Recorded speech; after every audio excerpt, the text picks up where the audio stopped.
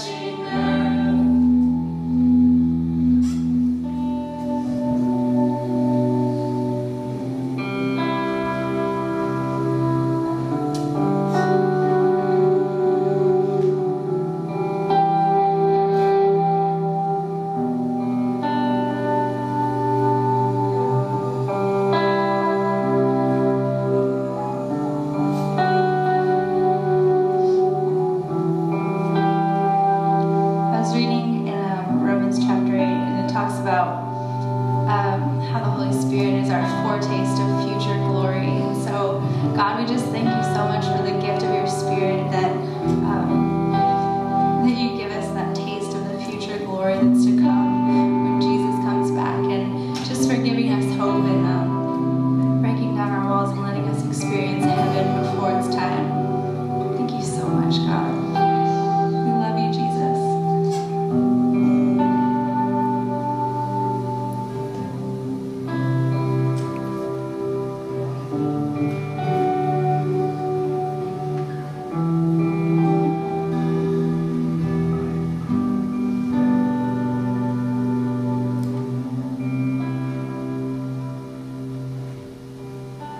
Father, we give our hearts to you.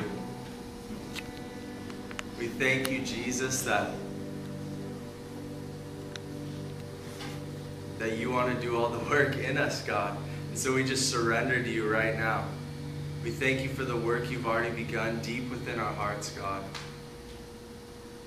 We ask that as, as we go out of this place, Lord, that we would find time to just spend with you in intimacy, God. We just want to grow in intimacy with our Father, our Daddy.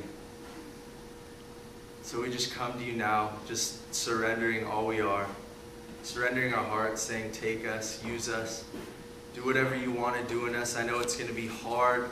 We know it's not going to be easy. We know that chiseling hurts.